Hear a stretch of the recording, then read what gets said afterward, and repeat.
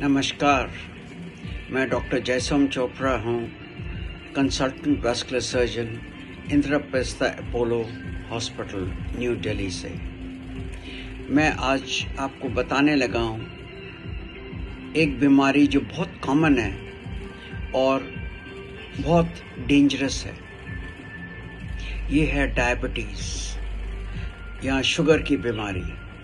अब आप सबने बहुत सुना हुआ है, हर एक परिवार में कोई डायबिटिक होता है। और इतनी कॉमन बीमारी आप सारा टाइम सुनते रहते हैं इसके बारे में। मगर हम बहुत ज़्यादा गौर नहीं करते कि इसकी कॉम्प्लिकेशंस क्या हो सकती हैं। मैं आज आपके साथ बात करने लगा हूँ डायबिटिक फुट के बारे में, जो डेंजरस कॉम्प्लिकेशन है डायबिटीज़ की।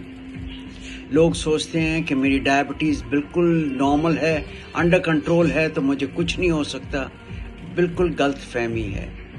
चाहे आपकी डायबिटीज़ अंडर कंट्रोल हो या बड़ी हाई हो, आपकी आर्टरीज या खून की नालियाँ और नर्व्स जो इससे पता लगता है, कोई हाथ लगा रहा है आपको, ये हमेशा इन्वॉल्व होती रहती हैं और आपको डायबिटिक फुट चाहे आपकी बिल्कुल शुगर नॉर्मल हो उसमें भी हो सकता है। अब डायबिटिक